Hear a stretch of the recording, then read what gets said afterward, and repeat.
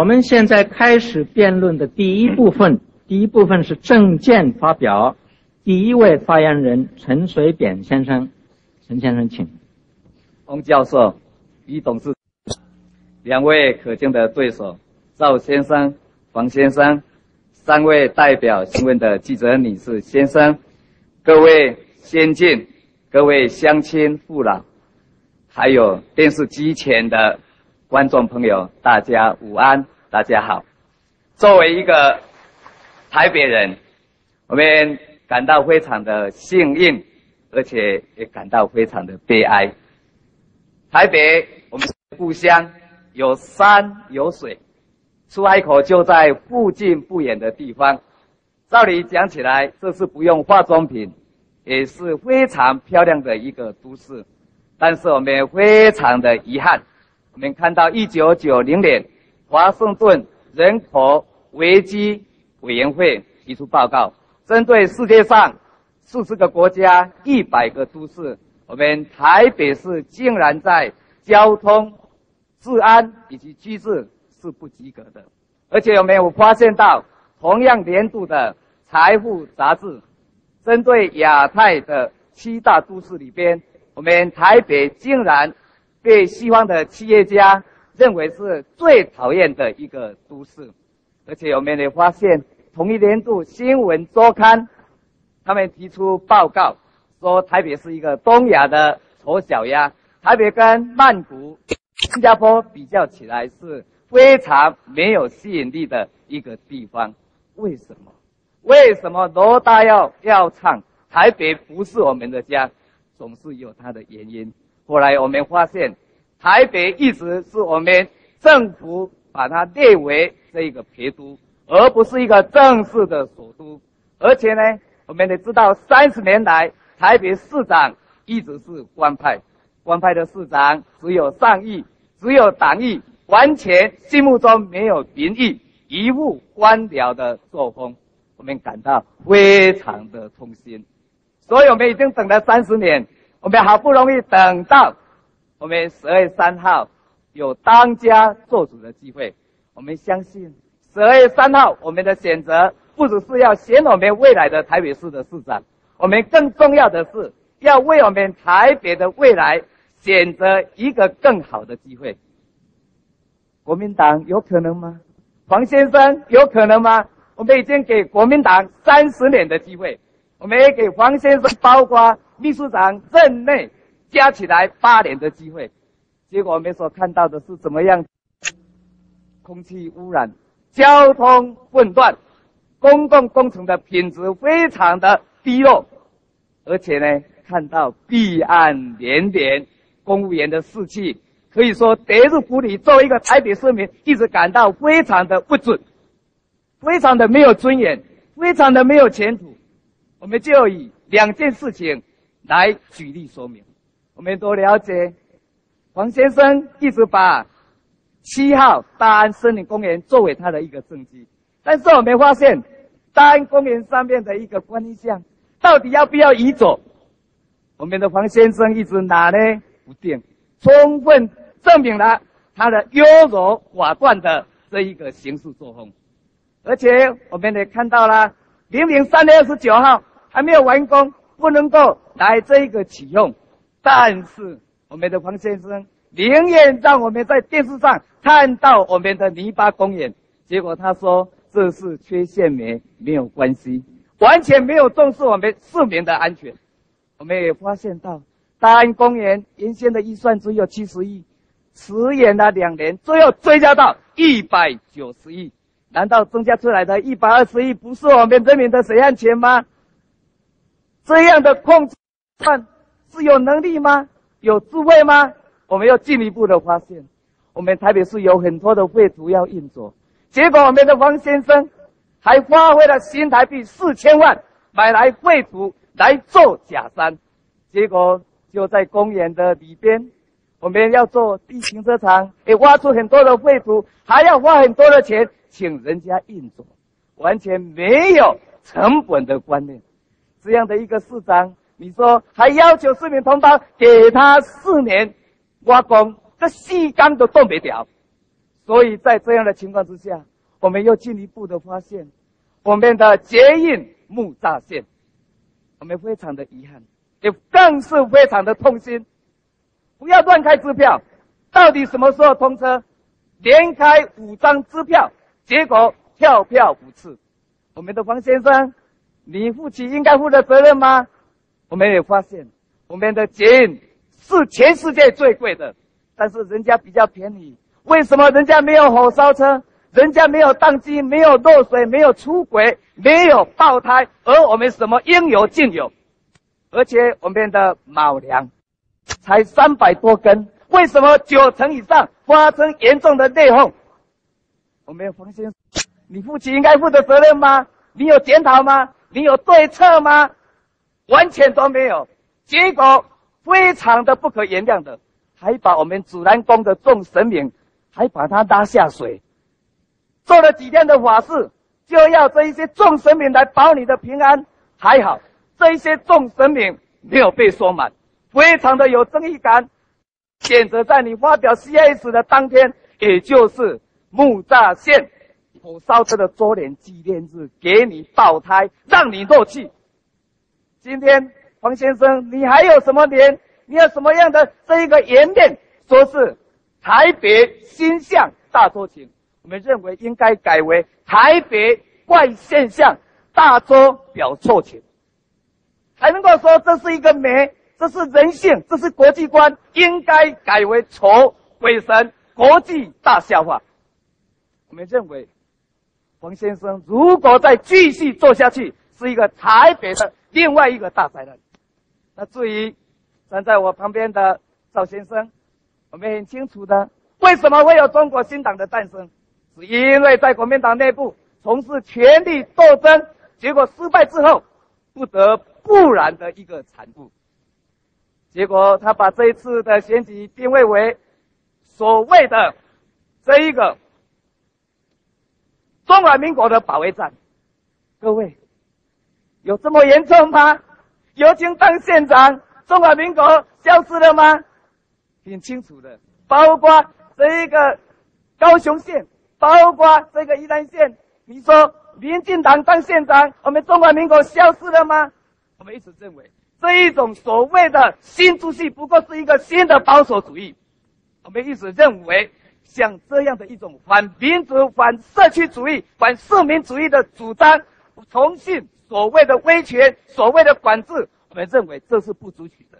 所以如果说换我们的这一个赵先生来担任我们的市长，我讲。现在我现在实在不太敢，所以唯一的选择，唯一的希望，只有陈水扁跟大家一起做台北市的市长，我们才能够走出这一个背景，我们才能够迎接希望。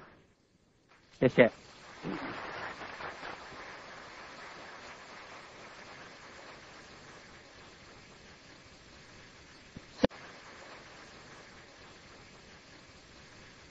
下面第二位发言的是赵少康先生，请赵先生。主持人，两位候选人，中国同胞们，台湾就要毁灭了，毁在民进党的纳粹法西斯手里，毁在李登辉国民党的慈禧太后义和团手里。一九三三年，希特勒夺得政权之后，先杀共产党，再杀。犹太人对外面用兵，最后导致德国的毁灭。满清末年，慈禧太后纵容义和团，杀人放火，抵抗八国联军，最后招致大清帝国的毁灭。今天这场选举，不仅是台北市长选举，而是中华民国跟台湾共和国的选举。民进党主张台独跟暴力，就会给我们带来毁灭。而陈水扁先生代表的就是台湾共和国。我们看民国七八年陈水扁选立法委员的单广告：“台湾独立万万岁。”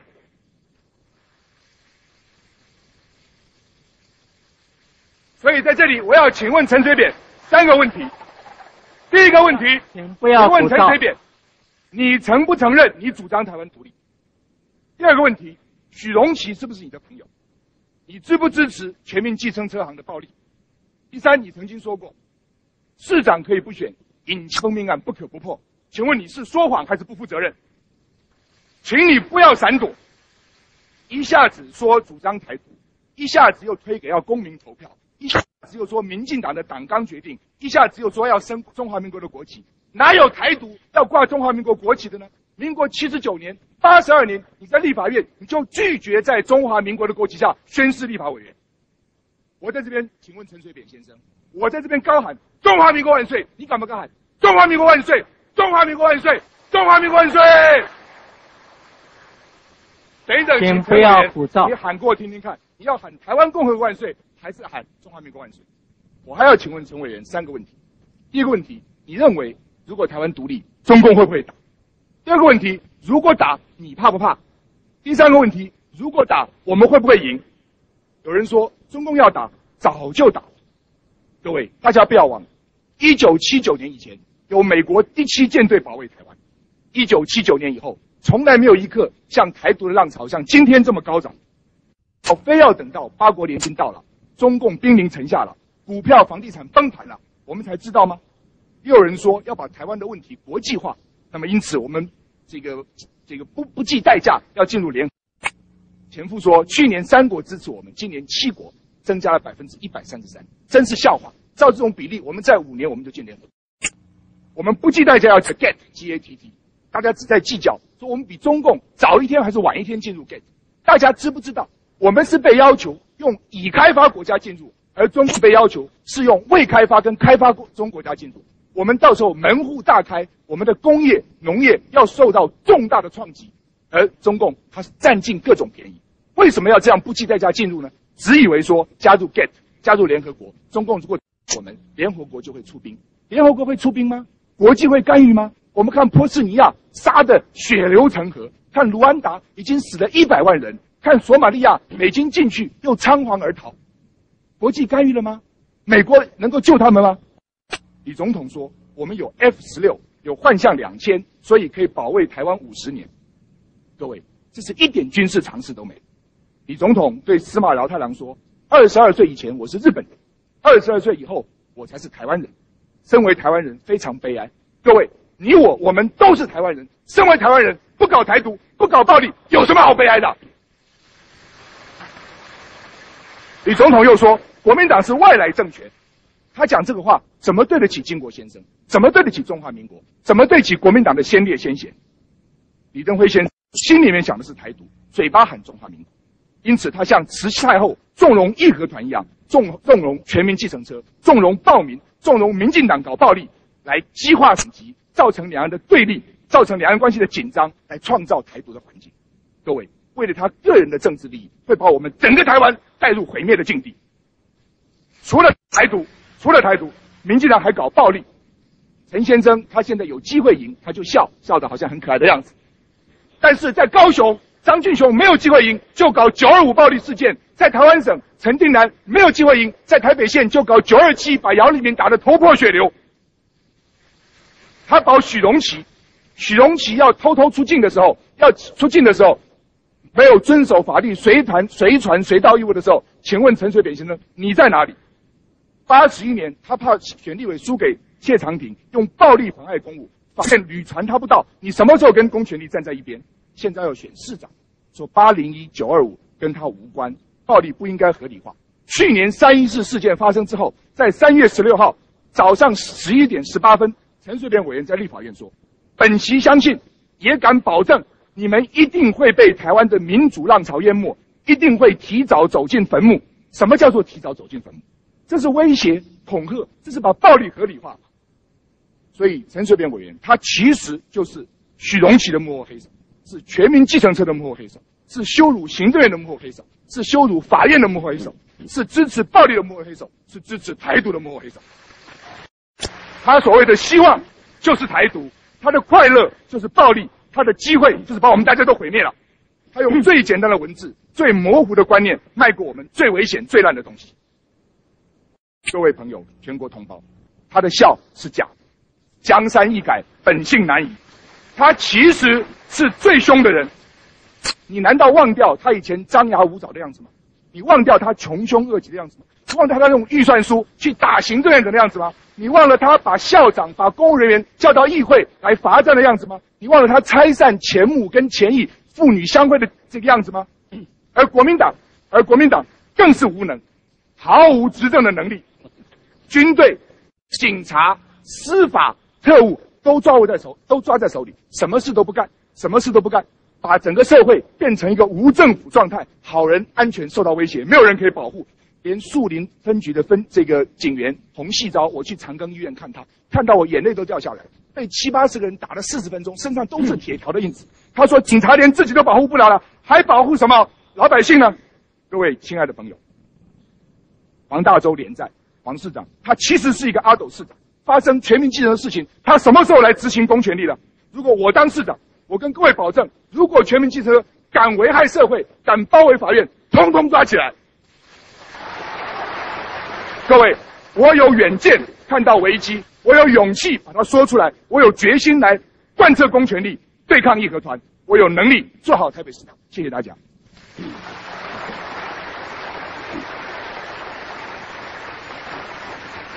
下面第三位发言人，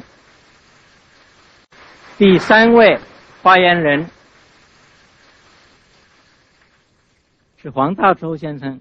请黄先生。啊，主持人，两位候选人，各位记者、先生、女士，各位朋友，大家晚安，大家大家午安，大家午安。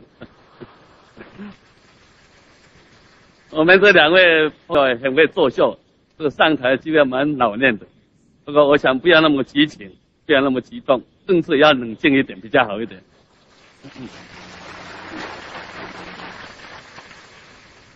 我这里。要以很诚恳的态度，还有严肃的心情，来提醒各位：十月三日的选举是历史性的一刻，它的结果将直接影响到你的幸福、台北市政建设，还有最重要的是社会的安定、国家未来的发展。说不要被那些激情的语言模糊了你理性的判断，我想这一点很重要，很重要啊。这一次我为什么毅然的参加市长的选举？不是为我个人的名位，事实上我市长已经当过四年，我想最重要的，乃是为了维护中华民国的宪政体制。为了社会的安定以及加速市政建设的推动，我是台北人，民国四十五年就来了，台南出生的，祖先是从漳州追随郑成功到台南，把河南人赶掉的，把河南赶掉的，所以我是台北人，也是台湾人，也是中国人，也是中国人。我深深地认为，在台湾地区的中国人，都应该要有历史的宏观、前瞻的视野，还有整体的观念，不要在狭隘的等级情节上打转。我们要有信心，事实上，我们证明，在三民主义理念下的正经制度。和生活方式是所肯定的，这些力量是将来完成中国和平统一的力量。我们要有耐心，要坚持白忍，这是最安全、最可靠的努力方方向，也才是中中勇之道。中勇之道，眼观短小，思维不开。战入台独和集统的死胡同，都是两千一百万在台湾的中国人的灾难，万万死不得，万万死不得。我们要珍惜四十多年来的成就，我们要感念四十几年来的艰辛，我们更要展望将来。民政党的党纲里头，就是列入台独的主张，最后的结果会把自己毒死掉，台独会毒死自己。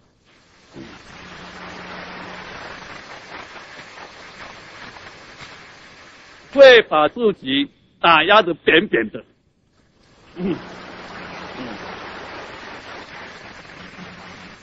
我们要讲开一点，讲通一点，不要拿两千一百万人的父子开政治玩笑。这是我这一次参加选举的第一本政治理念和政治立场。好，我换一个比较轻松的题目。那刚才题目很严肃，但也很重要，是大前提。今天我们三个人是在这个站在这个地方，到底什么人来当台北市长最好？大家看清楚一点，看清楚一点。比比，想想看。四年来，大家都说我不会包装，不会说话，不会作秀，地气不会作秀。但他们笑出来都非常好，我是不太会，老实讲。我不晓得什么叫包装。我妈妈说我长得不错嘛，还包装什么呢？我从小的时候，我的父母亲没有教我抓嘴皮，只是要我多说多做事，少说话。大王讲，囡仔人有耳无嘴啦，有耳无嘴。啊，我的老师也没有叫我多说话。他要多做事，少说话。我们的古圣圣贤还有一句话，不晓得大家记不记得？为政不在多言。这一句可能也害害了我不少了，是讲。还有很重要，巧言令色，奸于人，大家都很清楚。啊，对不对？台湾话说：“仓水宝济。”光家翠花转配，这条好哦。光大堆我都没有做，免洗砖头咯，日洗不罢波。我们的中国政治很多是这样子，都是这样子。啊，到选台北市长，又不是选红罗阿仙呐，对不对？不是就是会穷盖的啊，对不对？即使那个口若悬河的人呐，他内心是不平安的，不和谐的。是不是这样？你念个心理学小说，他用语言激情激动来弥补他内心的空虚，是这样子。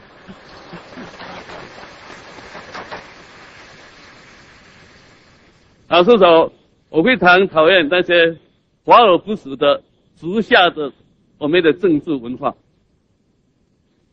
所以我选择了不大流行的务实、平实、踏实的。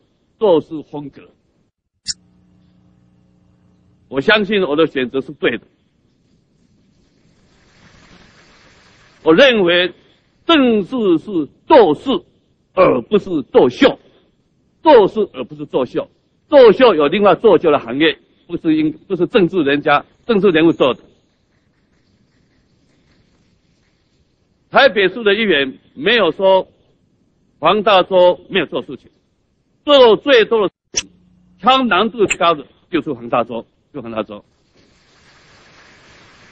最近有议员保面三个人，分明给瑞贵三队，他说我是水牛，另外一位先生是黄牛，另外一个是斗牛。我觉得水牛比较好一点，我农家出身养过牛，曾受到牛的影响，说不定。做每天嘛都是埋头苦干。一步一步的去耕耘，我耕耘了数年，做了些什么事情？我想各位都看得非常的清楚。大安公园，你不要老是拿一个泥巴来讲，你去看看，你看看，现在早晚很多，越来越漂亮，越来越漂亮，嗯，灯光朦胧，请停止发言，情话绵绵，太多了，董事长。谢谢，谢谢。我们现在渐入佳境。第二步，我们现在渐入佳境。第二部分是由媒体提问参选人答询。第一位提问的是中国时报总编辑王兆松先生。当然这一轮是证件发表。作为一个记者，我的感觉三位候选人比较像竞选总统。但是作为一个台北市居民，我想要请三位回到市政建设的现实。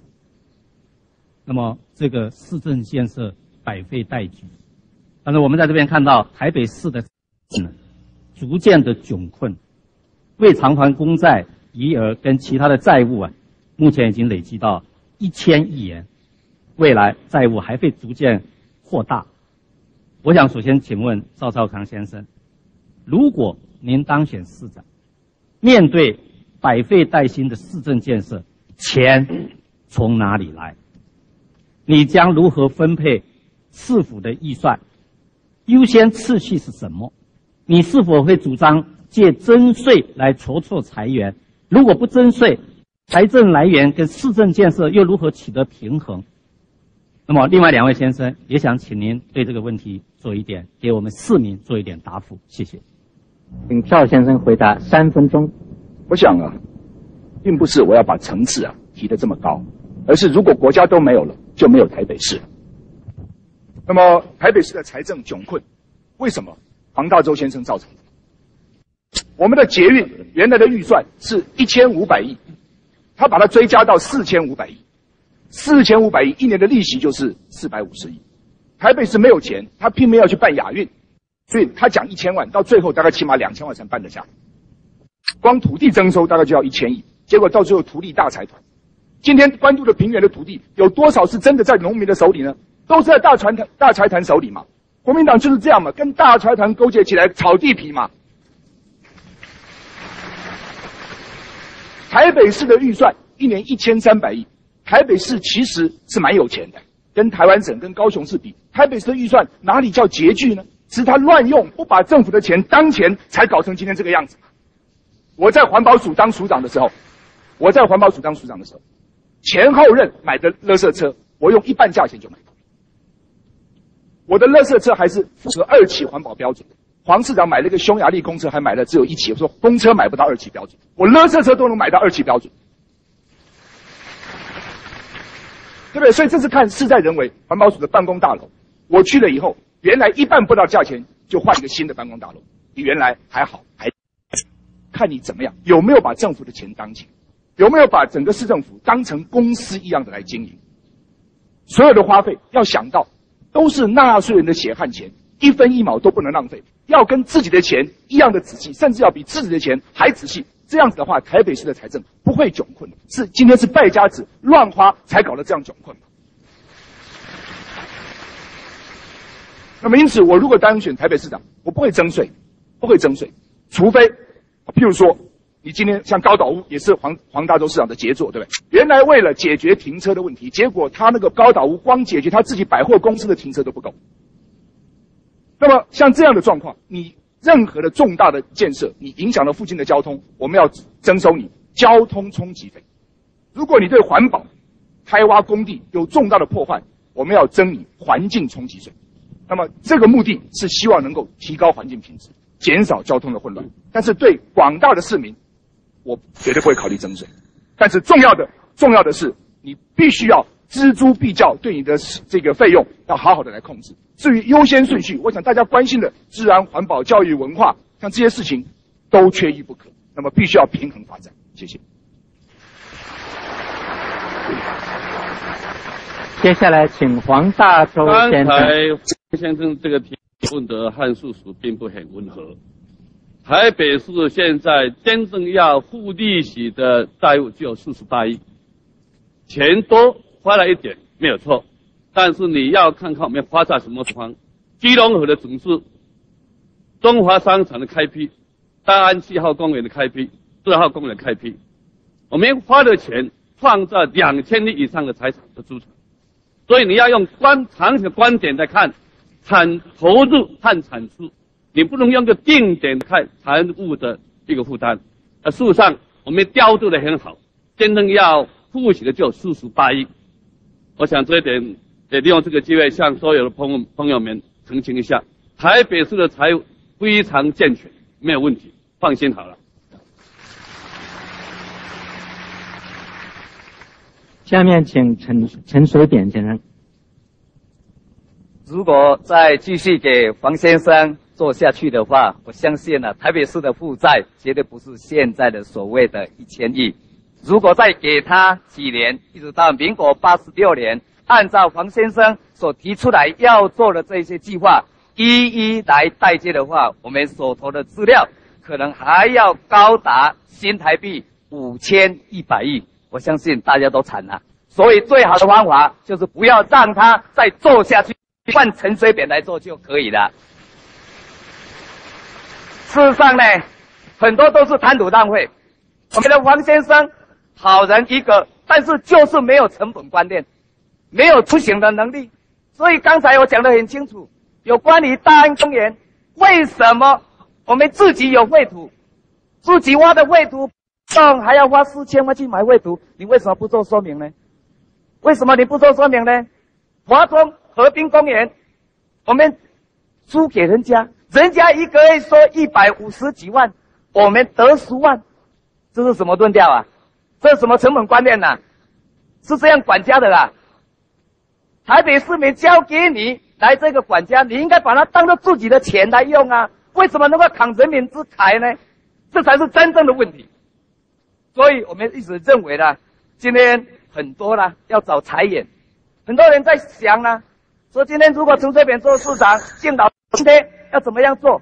事实上，财源我也找到了，只是黄市长你不知道而已啊。我们有一个土地税的减免规则，我们应该来要求中央政府在台北的一厅设，它的地价税、它的这个房屋税都要缴出来这一部分。我们可以多增加八十几亿的税金，王先生，你不做，我来帮你做。谢谢。第二轮，第二轮，请中国时报政治组政治组主任王美玉小姐发提问。三位先生都是各政党的精英，因为你们从政经历不一样啊，也使民众对你们的观感不同。譬如黄大洲先生，你形容自己是一头水牛，相当的感性，但是民意调查的支持度你一直是低迷，所以有人形容你这次的参选是西贝斗瓦贝莱伊了哈。尤其在社会一片求新求变的声浪中，支持你有人认为是一成不变，没有耐心在等待你四年。啊陈水扁先生，呃，你是民意代表起家，没有一天的行政呃工作经验，所以有人批评你一康注意投机啊，会非常看用你哈。你当选以后会不会是一个光说不练的市长？赵少康先生，你最近不断有人批评你是这个造一半，因为你从台北市议员、立法委员，乃至于到环保署长，再回头当立委，没有一个职务是做完。呃，有人担心你当选台北市长以后，会不会明年又去选总统？所以面对这些批评，请问三位先生，你们要如何来说服选民支持你，而且投你一票？谢谢。请黄大洲先生先发言。这个问题问的非常好，是最符合资格的，因为我懂得很清楚嘛，对不对？我可以用事半功倍的方式，把台北市政建设以最快速度推上一个新的境界。台北市长没有经验的话，没有办法当。有些人当几个月就昏头就昏了，就就下来了。啊，老早就讲，你他们两个的话，至少要搞两年，要搞两年。所以，而且台北市长。你要有耐心、包容心，不老是咄咄逼人。一个要很宽容、爱心、宽恕、忍耐、耐棒、耐悔、耐劳，才可以当有坚定毅力，才能够把基隆河冲出来，才能够把这个大安公园、中华商场做出来。没有这种耐力，骑马找马的人做不了台北市长。没有老是要逼人家。咄咄逼的人，没有这种心怀的人，也当不了台北市长。还有你面对面谈到，台北市长要有国际观，要有语言能力，不一定说很好，至少英文可以通，日文可以通，否则的话，句句要翻译的话，上不了台北市长。我讲这很重要的，哎，这不是开玩笑的，真的是开玩笑的。我简单这样答你就懂了，是不是？谢谢。陈水扁先生，两分钟。那如果按照黄先生这样一讲的话，我们台北市市长不要改选了，干脆给他继续做好了。但是为什么不惜会输给克林顿呢？挺清楚的嘛。所以你说要有经验，那如果说这种跳票的经验不要也罢，火烧车的经验、爆胎的经验有什么好？这一个在这边闲聊的呢？挺清楚的。我相信我没有那么笨。你说一定要这个学两年才能够进入这个状况。我相信呐，我进到国会啊，我第一年，我马上呢就没有输给我们赵先生了，他已经干了三年了，我是第一名啊，所以很清楚了，所以这是因人而异的事情，是一个个人能力的问题，是个人智慧的问题呢，怎么能够把我们跟你的相提并论呢？那我们也了解，今天很清楚了，包括日本内阁市的村山所向。以前有没有所谓的行政经验？今天是他们的这一个阁魁一样的啦。过去的这一个美国甘乃迪总统在做总统，只是国会经验有没有经验呢？没有嘛。所以很清楚了。今天为什么选办法规定说国会的经验可以等于行政经验？那很清楚了。所以我是认为这不是问题的。陈水扁做什么像什么，绝对有信心做第一名的国会议员，也是第一名的台北市市长。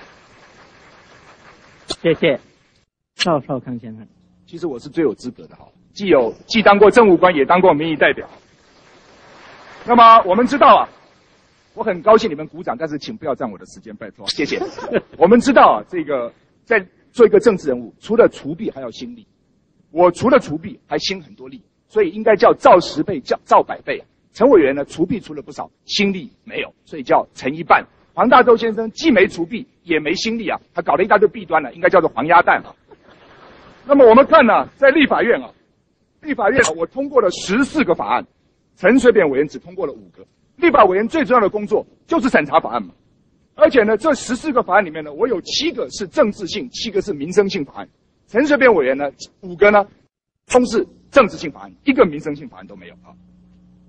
那么重要的不是在你做的时间长短。而在你做了多少事情？黄市长要跟我比行政，我到环保署半年，我的民意调查就是八十分，是所有部会首长最高的，你只有二十分呐。所以啊，最重要的我觉得是做多少事情，在最短的时间做最多的事情。台北市就需要这样的市长，否则的话，我们李总统不是也变李一半吗？他台北市长只做了两年呢，他三年换了三个行政院长。我基本上觉得时间长短不在不重不重要，最重要是做了多少事情，替民众做了多少民众希望你做的事情才是最重要。谢谢。第三位提，谢谢。第三位提问人是台视新闻部副理李四端先生，李先生。三位参选人好，呃，从刚刚各位的政见发表中。似乎统独之争已经成为这场选举辩论的主调了，至少今天在这个会场上如此。因此，我的问题非常直接，我想请教陈水扁先生。刚刚你的一位对手指责你是支持暴力、支持台独的幕后黑手，另外一位指责你所代表的政党是鼓吹台独，对社会安定是有危险。请问您在统独跟省级这两个议事问题上，您的信仰跟主张是什么？您的个人的信仰以及您所代表政党的这方主张，会不会反映在您未来的施政上？究竟在这场选举里面，对于统独的疑虑，选民应该把它当做多大的分量？如果还有时间的话，也请您评估一下九二五事件对台北选情，对你们三位会不会有影响？请陈水扁先生先答三分钟。我的太太是这个暴力的牺牲者，我相信呢，九年以来，我们深受暴力苦之害。我相信在场没有一位朋友能够比我感受怎么样的深。所以我痛恨暴力，我反对暴力，但是很清楚，我们得了解到说，今天有很多的事情的处理。如果说我有机会选上台北市的市长，在要求警察要维持中立之外，最主要的要保障合法，取缔不法。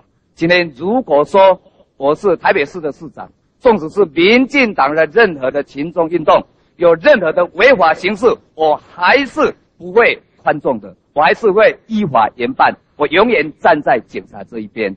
其次，有关于台湾的未来，我相信，作为一个人民，绝对有权决定国家的前途；作为人民，绝对有权来决定自己的生活方式。我相信，在宪法的言论保障之下，国民党也好，民党也好，有不同的好方向跟主张。我相信都是非常自然的一件事情。所以我们一直认为，今天我在台湾来这个成长，我相信。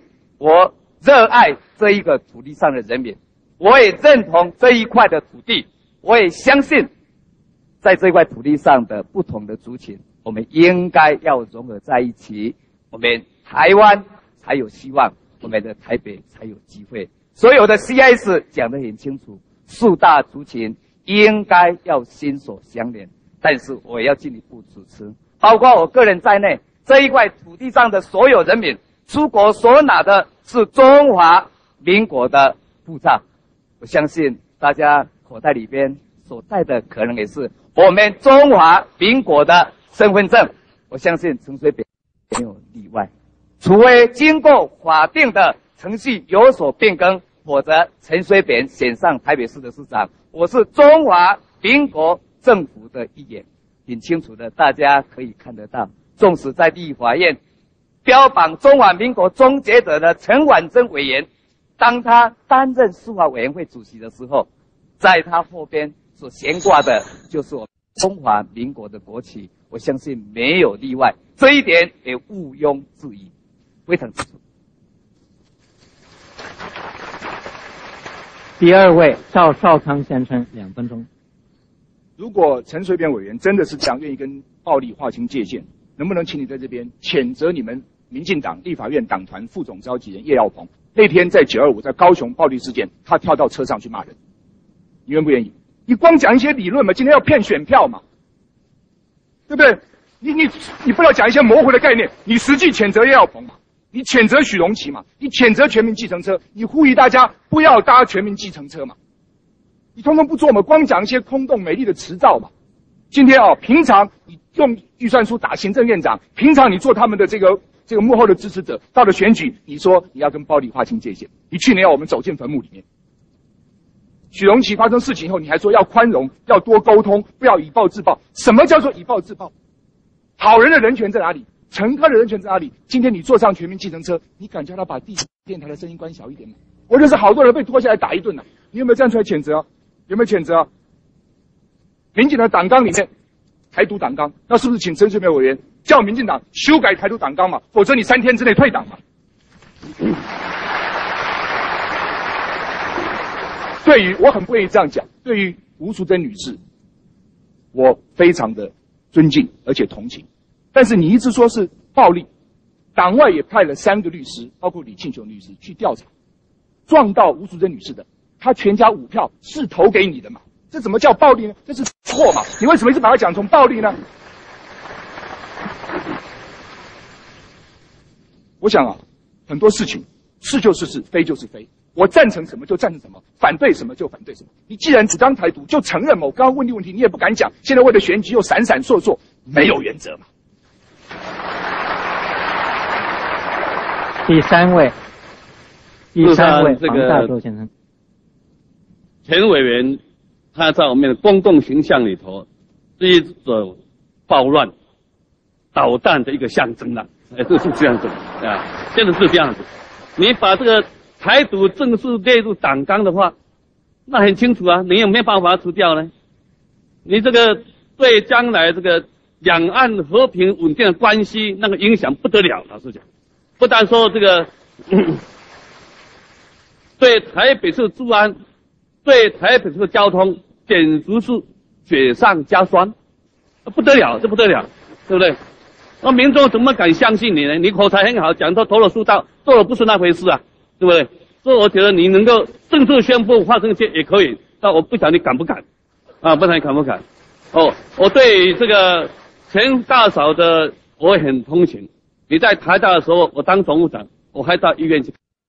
有人说不要去，没关系，我说还是应该去，表示我人性的关怀，人性的关怀，事实上是这样，对不对？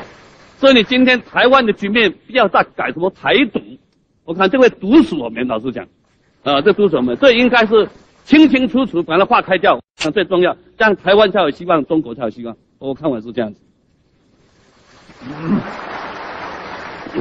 第四轮，我们请黄，我看法是这样子。第四轮，我们请黄兆生先生再提问。黄大洲先生，结怨的问题啊，您跟另外两位参选人谈的很多，所以我忍到现在都还没有问。不过作为一个媒体工作者，如果这个问题实在不能不问，否则有愧职守。昨天我细细查了一下我们的简报资料，在近年来台北市的重大的交通建设中，捷运的确创下了几项纪录，它规模最大。造价最昂贵，工程延后最长，被起诉或者遭弹劾的官员最多，火烧车裂缝、爆胎，乃至于交通部的李刊未能够通过的风波之多，也前所未见。王先生刚刚在报告中做了一些解释，不过我们还是很想知道，究竟真正的问题出在哪里？是天灾？还是人祸，究竟谁该负责？是不是包括您的前任？对于这个台北市民交通之梦，我也想请教另两位参选人，你们是否愿意借这个机会做出承诺？而又有什么保证可以保证你的承诺可以实现？王先生，请谢谢。是哪一件引起今天捷运系统的结果？我不好意思讲太多，你们想想看好了。我立场很难讲，捷运是大家的痛，也是我内心的痛，啊！我现在能够做的，把它解痛消肿，这是我要做的事情，把它解决掉，对不对？谁决定两车变速车？我现在还搞不清楚。呃，那那么草率，草草率，但是我向各位保证，没有选举的捷运，没有政治的捷运。只有安全的捷运，我们为为什么要通？啊，不要不要占我时间，等一下好吧。我们为什么要速车？为什么要速车？要找问题嘛。德国速车也是一年以上，你晓不晓得？你这个交通那么复杂的系统，一定要先跑看看有什么问题，问题赶赶快找出来，然后决定怎么去防止、防范这必要的这个维护，然后正式通车营运之后。把可能产生的毛病降到最低最低的程度，我想这个我们基本的这个原则态度是这样子。我们不否认有问题，任何一个复杂的新的交通系统到我们国家之后，总是有一些水土不服的地方。老实讲，这很难避免。你家里的车子会爆胎啊，你冷气机也会坏掉啊，是不是？你你那个车汽车这个那个这。不会没有，也也有啊，火车站脱轨很多啊。那我们不能够说有问题就把火箭掉，这不对。建完了火箭呢，我们节运几几千年的工作同仁的辛苦，我现在不公呃不公平的。我们面对问题，解决问题，安全第一，这是我们基本原则。这个有责任，我们当然要要要追查。这是我基本态度是这样子。也利用这个机会向各位朋友们、各位长官们做一个报告。我们解决问题，产生问题已经解决很多了。有一部分我们要看它的可那个安定度、操作度，还有这个可信度如如何。一段时间之后没有问题了，我们再来正式通车。这是我们对捷运的一个基本的一个态度和做法，还是安全第一。谢谢。我的说明是这样子。第二位陈水扁先生，彭先生这样一讲啊，我们对他更没有信心了。那已经从秘书长到市长任内前后八年，到底是谁要负责任？他不好意思讲太多。他事实上他已经知道真相，还是不知道真相？如果说知道真相不讲，对不起人民；如果说不知道真相，啊，这个不好意思讲太多，是因为你不了解嘛，你也应该要负责啊。那其次呢，我们也知道了，所谓从两车到四车，那到现在为止，为什么你现在搞了八年还搞不清楚？那你市长是怎么干的呢？那你秘书长是怎么样干的呢？你曾经开过五张票了，说要通车，你凭什么说要通车？什么说要通车？你有什么样的依据？有什么样的估量？乱开支票嘛，充分表示你的能力有问题，你的魄力有问题，你的执行能力更有问题，这就是我们最担心的一个地方。所以我们知道说挺清楚的，偷工减料、贪渎单位，这些都是事实嘛。那今天是谁的责任？你有负起应该负的责任吗？你干了市长，你纵使没有规划，你有执行啊，也有监控啊，为什么要发生问题？这些难道你都没有责任吗？挺清楚的，你没有负起应该负的责任。所以我们认为呢，要追究事实的真相，也要追究责任。如果陈水扁选上台北市的市长，今天单位公堂这么多，到目前到目前为止还没有办法保障。我们的这一个安全的这一个木栅捷运线，我一定会请很多的学者专家，在我上任之后的三个月内发表结印红皮书。如果你黄先生有责任，照样追究到底。如果说没办法改善，我是认为呢，最后可能只有被迫把它打掉。但是很多人讲说留着可能可以留着纪念，但是我说如果要留不必那么长，一脚断就可以了。谢谢，谢谢。第三位。赵少康先生，两分钟。我想黄刚刚说要跟长官报告，不必对长官报告，对市民报告就好了。黄市长的口才其实不差，你知道，他是脑袋有问题。什么这个跟家里的车爆胎一样，坐了多少百个市民、千个市民、十万个市民的车爆爆胎，怎么跟家里的车一样呢？我这边还有一个那天你捷运爆胎的胎在我手上，我在路上捡到的。两车变四车，你说不可以？你再把它四车变两车嘛？八年时间你可以做很多事情啊，你可以做很多事情啊。很多的问题都是你急着要赶工，急着要这个邀功，然后赶出问题来。所以呢，如果我当选台北市长，捷运一定要全面体检。国外香港、新加坡、韩国、日本到处都有地下铁，英国一百年以前，纽约一百年以前就有捷运了嘛。专家很多嘛，请来体检，而不要搞利益输送那种那种什么顾问公司。有问题，真的安全有问题，那就不能开。但是也不要像陈水扁委员上次讲说把它拆掉，太可惜了哈。太可惜了，有市民建议说，干脆改成改成个电动步道也不错哈，上面搭一个棚子哈。不过呢，台北市停车问题很严重啊，真的有必要啊，把它做成立体停车场也不错啊。我算过，可以停好几天、好几千辆车子。不过在这边我要特别提出啊，一个政治人物必须要有远见。当时第四届台北市议会，我就反对中运量啊这种高架式的方式。我说，全世界有哪一个国家在大都市里面把这个高架在市里面这样绕呢？当时市政府要做三十四公里，是全世界最长的中运量捷运，我反对。最后呢，市政府这个让步啊，做成十公里。不过那个时候陈水扁我也是台北市会议会的议员，他没有讲话哈，不知道那时候他在哪里哈。否则的话，今天更不得了了。哦，还好我救了台北市啊，哦，否则不得了了。谢谢。我相信黄市长脑筋一定没有问题。呃，这个人生方面的呃讨论，我想在辩论里头尽可能来避免比较好。我我想，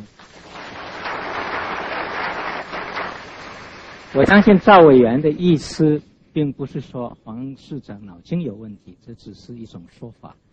下面第五轮，请王美玉小姐再提问。台北市的贪赌弊端，时有所闻。无论在都市计划、公共工程，乃至于重大的采购案件上，我们经常可以听到或者是看到财团和特权介入关说，造成我们决策的扭，呃，公利益受到损害，公共品质低落，有时甚至因为官商勾结或者是利益输送，造成重大的弊端。譬如台北市政府起诉了几被起诉了几个案子，荣兴案、呃，匈牙利公车案、设置岛开发案等，这都是。另外就是官场的。红包文化在建管单位、地震、工商登记、公立医院乃至于环保单位也一直受到批评。陈水扁陈水扁先生，你是以打击特权著名，请问你，如果你当选市长以后，你要如何消弭这个红包文化？你要如何面对来自于上级、民意代表以及特权人士的关说压力？也请两位先生就这个问题表达你们的看法。谢谢。